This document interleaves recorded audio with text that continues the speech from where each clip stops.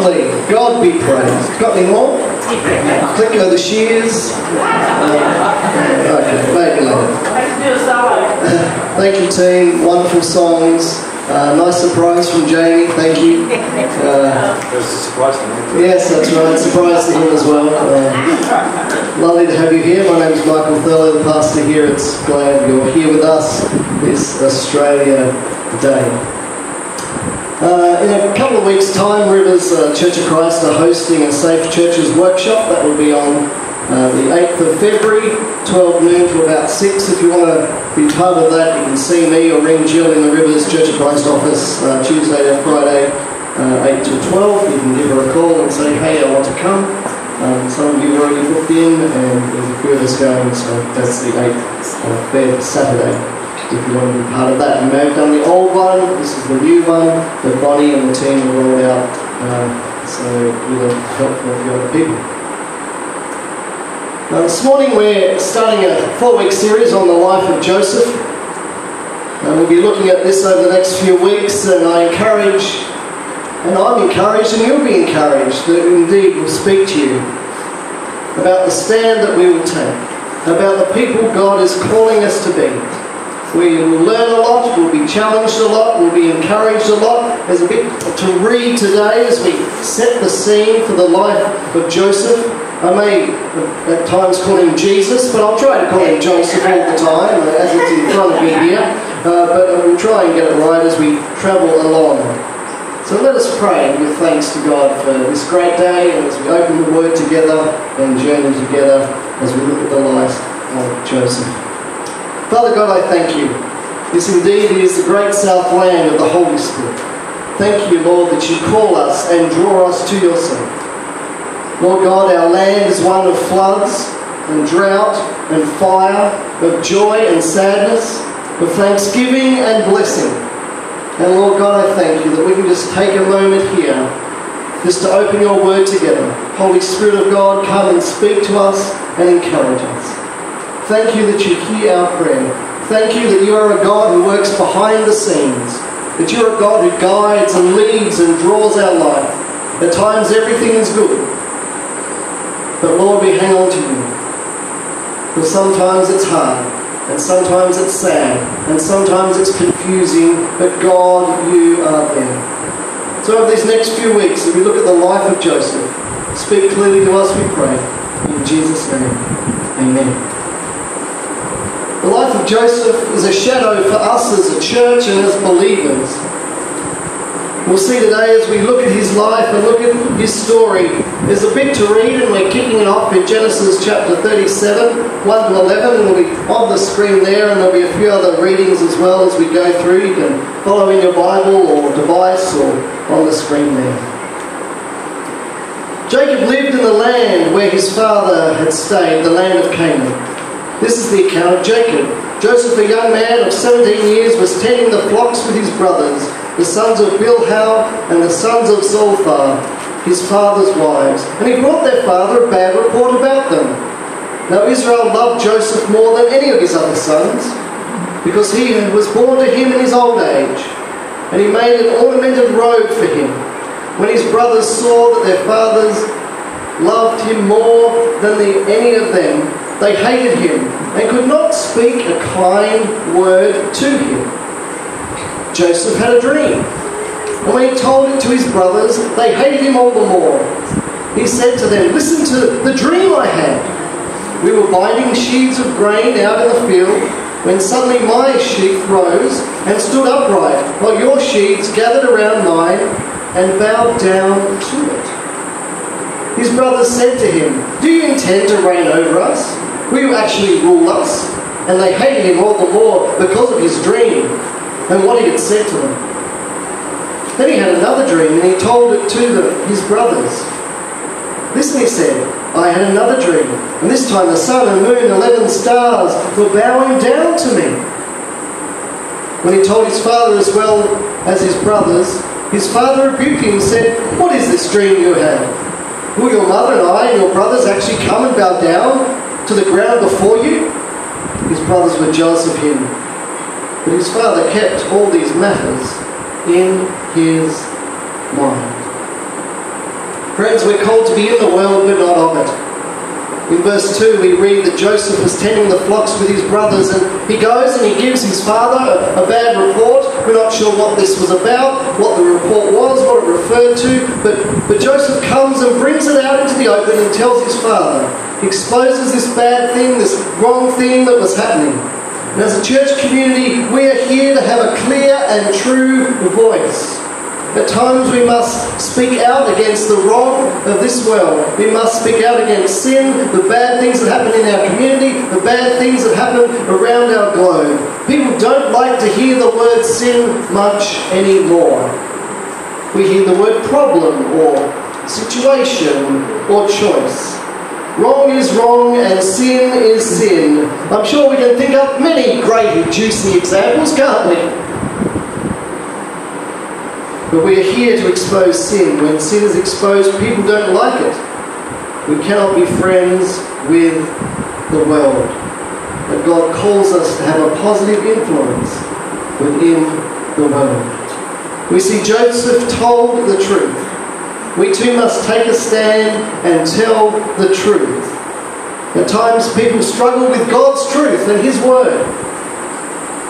But Jesus is the way, the truth, and the life because it challenges them to make a change. Verse uh, Genesis 37, 3 to 5. Now Israel loved Joseph more than any of his other sons, because he was born to him in his old age, and he made him a richly ornamented robe for him. When his brothers saw that their father loved him more than them, they hated him and could not speak a kind word to him. Joseph had a dream, and when he told to his brothers, they hated him all the more. Joseph would have heard of his father speaking about the things of God, speaking about God's promises and covenant and dreams and visions, that God would care, that God would lead his people, and this would have impacted his life. What are those people around us hearing and seeing about God? How are we impacting people's lives about the things of God? How are we shaping their lives? Our children, our neighbours, our grandchildren, our colleagues. What are they hearing about the things of God from us? God blessed Joseph and gave him insight and dreams and visions. As parents, we have a powerful impact on our children, young or grown up, our grandchildren, our nieces, nephews, neighbours. How are we impacting those around us? Now, Joseph's dad gives him a beautiful coat or robe, a richly ornamented robe, we are told.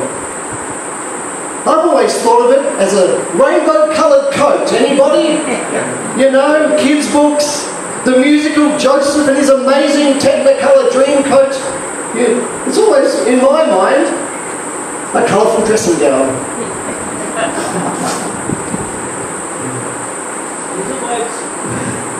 that wasn't the case. It was actually a white linen robe with long sleeves, and the robe went down to nearly Joseph's, Joseph's ankles. And around the collar, around the ends of the sleeves, and around the bottom of the robe were thin strips of brightly coloured braid. This coat was not uncommon or robe of that day. This sort of robe was born was worn by the upper class, the well-to-do. It said, "Here is an important person." This coat said to the person who wore it, "I do not have to work in the field." I do not have to do hard labour. I do not have to do work that gets my hands dirty. I do not have to do manual work. Manual work was not for them. They were above this sort of work. The robe showed that Joseph was set apart from his brothers and set apart from other people, that he was deemed special. The life of Joseph is a shadow for us as Christians today. How do we see it? Well, when you become a Christian, God's word tells us that He gives us a robe of righteousness. This robe sets us apart from the world. We are different. I didn't say better, we're just different and set apart by God to be His hands and feet and voice of hope and truth. It means that we have a different relationship with God the Father than other people do. Everyone can know God as we do. It's up to them. And I pray you've made that choice. God loves his children and he has set us apart. Joseph was 17 years old and his brothers hated him for it. They hated him for his robe. They hated him for his dreams. He had a special relationship with his father. As Christians, you and I, we have a special relationship with Almighty God. In the book of Hebrews, chapter 4, verse 16, we read, Therefore, let us therefore approach the throne of grace with boldness, so that we may receive mercy and find grace to help us in our time of need. Let us approach God boldly. God is there for us in our time of need. Joseph knew his brothers hated him. He tells them his dreams, that he would be exalted and they would be humbled, and he hates him all the more. And in verse 12 of Genesis 37, now his brothers had gone to graze their father's flocks near Shechem. And Israel said to Joseph, As you know your brothers are grazing the flocks near Shechem, Come, I'm going to send you to them. And Joseph said to them, No way, they hate me, they don't like me, and I'm not going.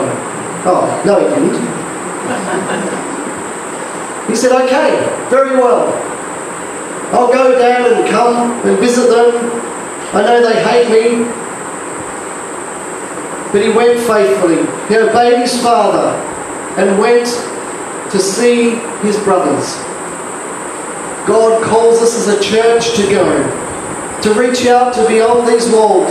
At times the reception may not be great, but God calls us to go to go into all the world and to preach the good news of the gospel of Jesus Christ. Joseph was going to Shechem to tell his brothers that their father missed them and that he loved them and to see how they were doing. Up on the screen there for you this morning, what was Shechem? Well, it was a wilderness, a dangerous place. God is calling his church to go and bring people out of the wilderness, out of spiritual darkness, into a safe place and a safe home. We are the voice of God for people who are lost. We may be the only Jesus they meet, but let us go with a clear and true and powerful voice of hope and grace and forgiveness and acceptance and love and healing. Picking it up at verse 14 of Genesis 37. So he said to them, Go and see if all is well with your brothers and with the flocks, and bring back word to me. Then he sent him off from the valley of Hebron.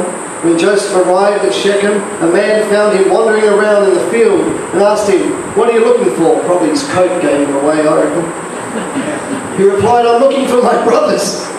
Can you tell me where they're grazing their flocks?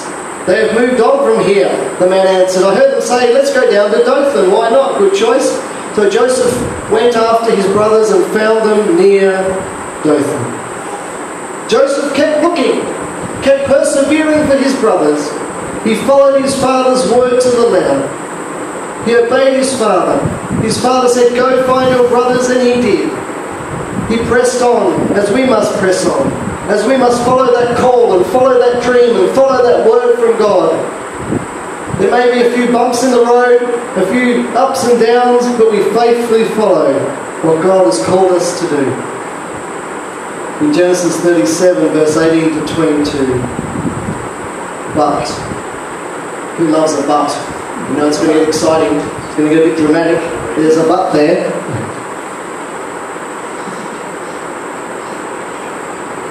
But they saw him in the distance and before he reached them, they plotted to kill him. Here comes the dreamer! they said to each other. Come now, let's kill him and throw him into these cisterns and say a ferocious animal devoured him. Then we'll see what comes of his dreams. When Reuben heard this, he tried to rescue him from their hands.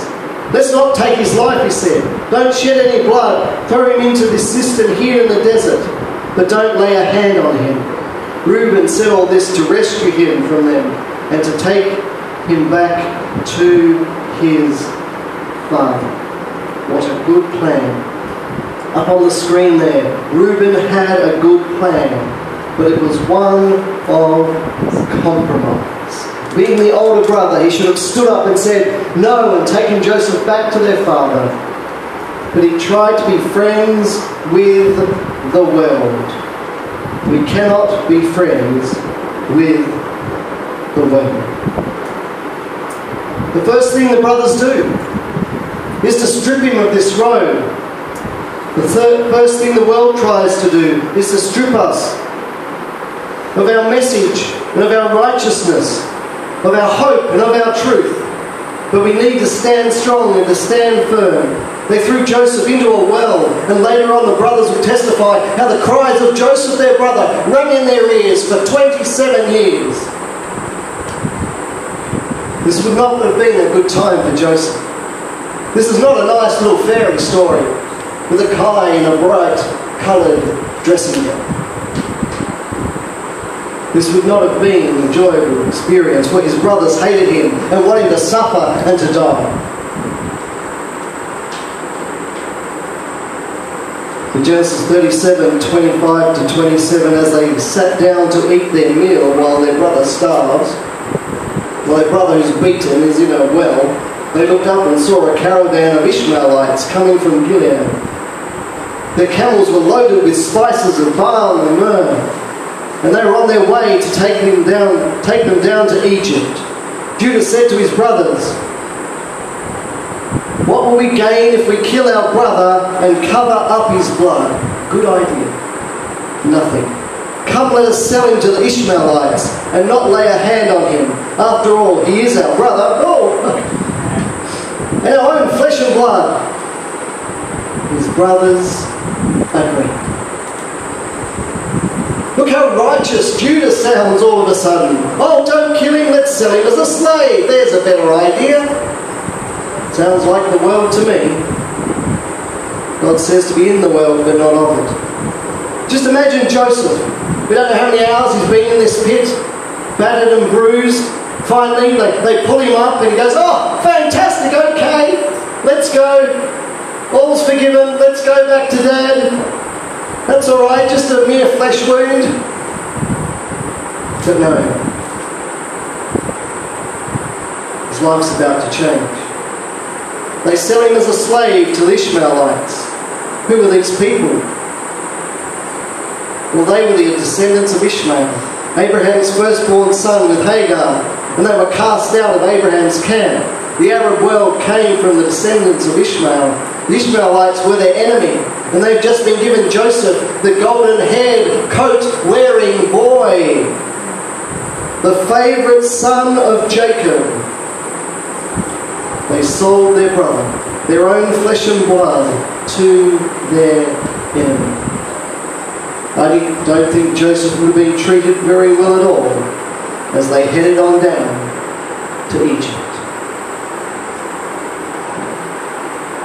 Final bit of scripture this morning. Genesis 29, uh, 37, 29. to 36. When Reuben returned to the cistern and saw that Joseph was not there, he tore his clothes. He went back to his brothers and said, The boys are there. Where can I turn now? Then they got Joseph's robe and slaughtered a goat and dripped the robe in the blood. They took the ornamented robe back to their father and said, We found this, examine it, whether it is your son's robe. He recognized it and said, It is my son's robe. Some ferocious animal must have devoured him. Joseph has surely been torn to pieces. Then Jacob tore his clothes and put on sackcloth and mourned for his son many days. All his brothers and daughters came to comfort him, but he refused to be comforted. No, he said, in mourning I'll go down to the grave to my son. So his father wept for him. Meanwhile, they sold Joseph in Egypt to Potiphar, one of the Pharaoh's officials, the captain of the guard. So we close today, just a couple of final thoughts. How those brothers, how those brothers would have been tormented for 27 years now. They need to live with that sin. They need to live with their actions. They need to live with their lies, with what happened to their brother. As Christians in the church, we need to stand apart from the world. Be in it, yes, but not of it. Let us approach God boldly in our time of need because He loves you and loves me and cares for you and cares for me. Let us stand faithful. Don't let sin trap us and take hold of us. But let God call us all to a life of faith, to a place of righteousness and forgiveness, to a place of hope and calling as we serve Him faithfully. God bless you. There's more next week.